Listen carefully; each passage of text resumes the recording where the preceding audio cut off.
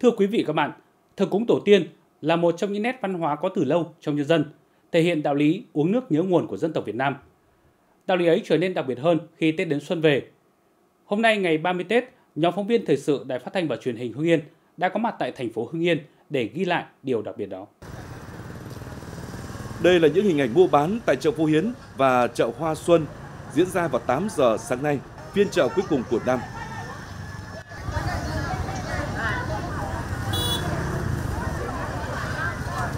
Hôm nay à, tôi đi nựa các loại hoa quả để à, bày mâm ngũ quả thắp à, hương tổ tiên trong những ngày Tết. Mong là tổ tiên phù hộ cho con cháu một năm mới an khang thịnh vượng, sức khỏe dồi dào. Trong năm thì sẽ ờ, thực hiện được nhiều các cái mong muốn.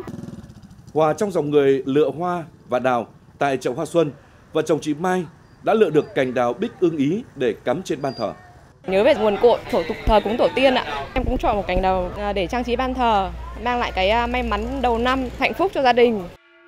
Một gia đình dòng họ Vũ Đức tại xã Phương Triều có gia phả trên 300 năm tại đây đang hành lễ tại nhà thờ họ nhằm kính cáo tổ tiên tiến năm cũ.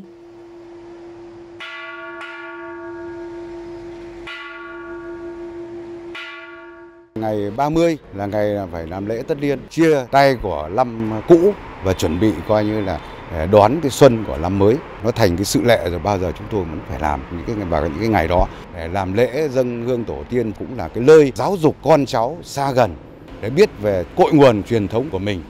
Thờ cúng tổ tiên, thờ người có công với dân, với nước hoặc thờ cúng người thân đã khuất đã là truyền thống của người dân cả nước nói chung.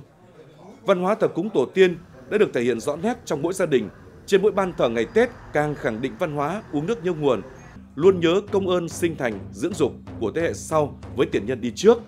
Nét văn hóa đặc sắc này còn tạo ra không khí thân tộc trong dòng họ khi Tết đến xuân về.